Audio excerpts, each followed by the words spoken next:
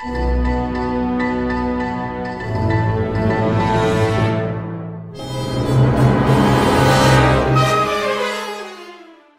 morning, everybody. Welcome to another edition of Lab 207 webcast. My name is Mr. Kite, and I'll be hanging out with you today as we wrap up our series on energy resources. Final topic to talk about is fuel cells and the future. So, like always, let me get you some objectives, and we'll get going. By this, by the end of this video, be able to explain the operation and function of a hydrogen fuel cell, discuss the challenges associated with renewable energy. So that's what we got. We've been talking for the last, I don't know, five or eight videos about non-renewable energy sources, then renewable energy sources. Now we're going to talk about what it's going to take to move on into a sustainable future. So let's go ahead and jump on in. First thing I want to talk about is emerging technologies, and this is really kind of where we stand at the moment. There is new technology cropping up all the time. Most of that new technology allows us to use energy more efficiently, but unfortunately, some of the new technology means that we consume more energy. So, as we move on into the future, the hope is that these emerging technologies will be the technologies that ultimately is going to help humankind to consume and produce energy in a way that is less damaging to the environment. So let's jump on in and look at a couple of technologies that you should be aware of. The fuel, first one is a fuel cell. A fuel cell is like a battery, but better. So in a traditional battery, you've got metals interacting with each other in a closed container to produce electricity that can be used to do work. In a fuel cell, You've got a similar chemical reaction going on except for the container is open and you can continually add material to it. That material undergoes chemical reactions, that produces electricity, and then byproducts are given off. Um, for our purposes today, we're going to talk about a hydrogen fuel cell where hydrogen is the input. Hydrogen interacts with oxygen within that fuel cell in order to produce electricity, and then the output is water. So rather than me just talking about it, let me kind of show you how it works. So this is a hydrogen fuel cell right here. And up there at the top of the picture, you can see the basic diagram of how this thing works. Within the fuel cell, you've got a semi-permeable membrane. This membrane is permeable only to protons. So what you do is you've got a tank of compressed hydrogen gas. That hydrogen gas is pressed up against the reaction layer. When it gets to the reaction layer, the H2 gas gets split up into two hydrogens that are separate. When it is split up, the protons are pushed through the membrane, the electrons are split off. These electrons flow up and around and down to the other side of the membrane. On the other side of the membrane, oxygen is added into the system. These electrons that are coming down, the protons that are coming across, and the oxygen that has just come in form water, and then that water comes out the tailpipe. Now, the flow of these electrons up and around is the electricity that can be harvested to do work. So within the application of a car, here's basically what it would look like.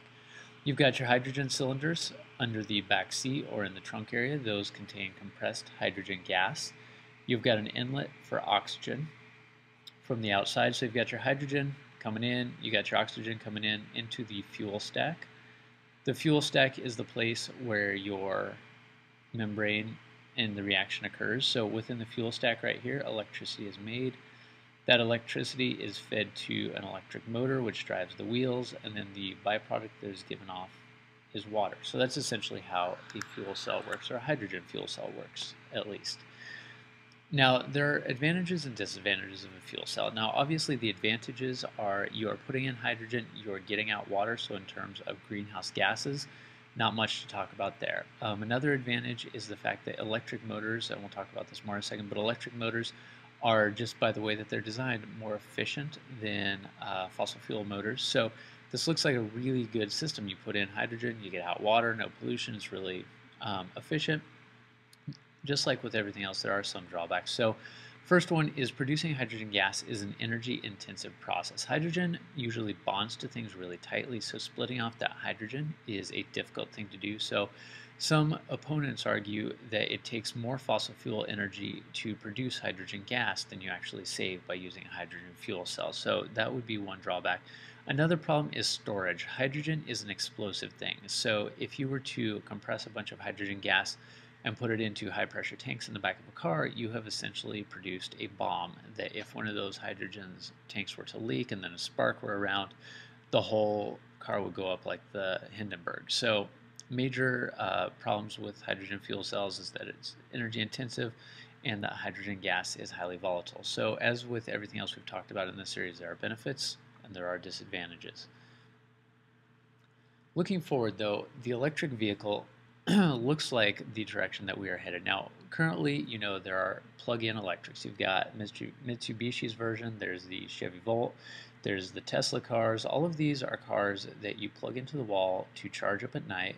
Once they're charged, they can run anywhere from 75 to 300 miles on a charge of electricity. Now, the reason that this choice is potentially more efficient is, like I mentioned a, a moment ago, um, when it comes to converting energy into work, electric motors are much more efficient than a fossil fuel powered motor. A fossil fuel powered motor, motor may convert like 20 or 30% of the energy of that gasoline into actual work within a car.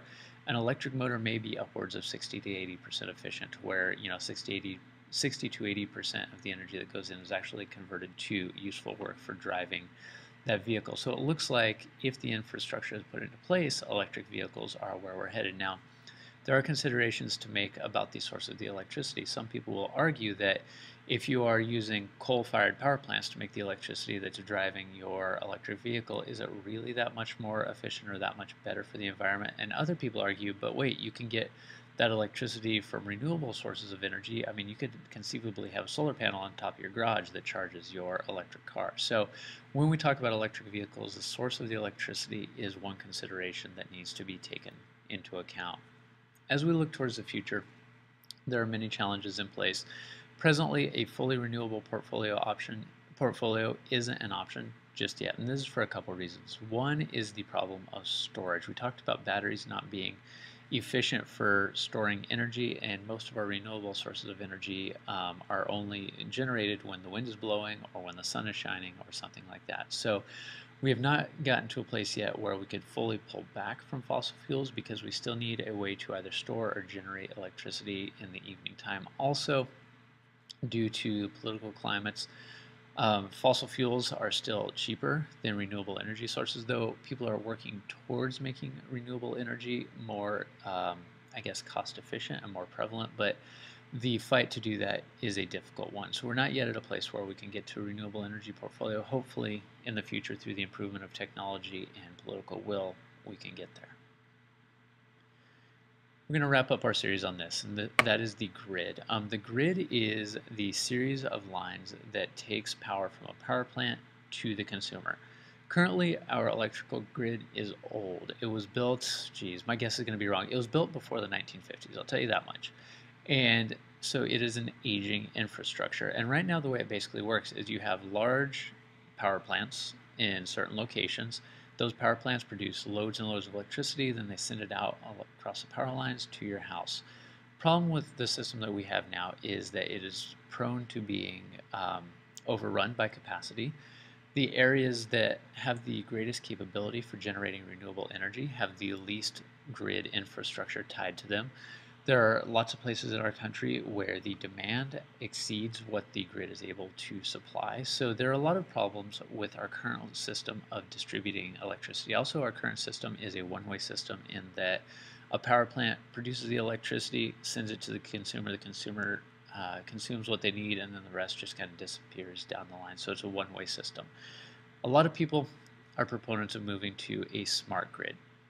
A smart grid is a grid that is all about two-way communication between the power company and the home. There's some key components of a smart grid that you kind of need to know about. Basically, here's what it looks like.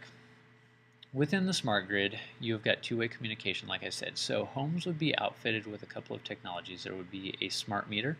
That smart meter would tell the family that lives in the house how much electricity they are using. They also would talk back to the power company and show how much electricity was needed at that point in time. Within this house, there are also smart technologies that allow two-way communication like a thermostat or smart appliances. What these appliances would essentially do is they would have computers on board that would allow the consumer and the power company to talk back and forth about when it is best to use these appliances. So a power company could set up a situation where uh, electricity costs less when there is less demand and more when there's more demand. So a person could go to bed, and before they go to bed, they could program their smart dishwasher to say, run overnight when the power is the cheapest. So when the demand went down and the price went down, that would trigger the smart appliance to kick on and it would run and the person would get up and they'd have clean dishes. The benefit for this is that for the consumer, they are having lower bills and using electricity, less electricity because their appliances are running when the electricity is the cheapest. For the power company, it's good because it stabilizes demand. Rather than having everybody getting home, eat, cooking dinner, running the dishwashers around 8 p.m. at night, and so there's a big spike in the energy use, that demand is spread out throughout the day, which means that they need to have less capacity, means that they have to run fewer power plants and they can run more efficiently overall. Now, this type of system also demands that um, the power generation be decentralized. So rather than having big giant power plants, it might look like smaller energy parks scattered around the country, and each park of energy generation could include multiple sources of power generation and serve, you know, a couple thousand people rather than, you know, seven or eight million people. So looking towards a smart grid, we're looking at a system that involves two-way communication and the ability for consumers to communicate with the power company, power company to communicate with the consumer with the eye towards using less electricity. And in the end, it's all going to come down to cost and technology. The only way that we are going to be able to move into a sustainable power future is if the cost of technologies comes down as we implement more technologies, those technologies become cheaper. So the more we use solar power, the cheaper it's going to become to use solar power. Same for wind or geothermal or the smart grid or anything like that. The problem is overcoming that initial barrier where the adoption of technologies is expensive and difficult. But at some point, you've got to jump in and adopt those technologies before those technologies will come down in price. So as long as we are scared to jump in and adopt new technologies, we're going to be stuck on a uh, fuel energy that is dependent on non-renewable fossil fuels. As the country and politics and business move towards and beyond fossil fuels, we're going to see the price of renewables come down and hopefully we'll move towards a more sustainable energy future. And that being said, I'm done talking. Thanks for joining us on the Lab 207 webcast. My name is Mr. Kite. Hopefully we'll see you again.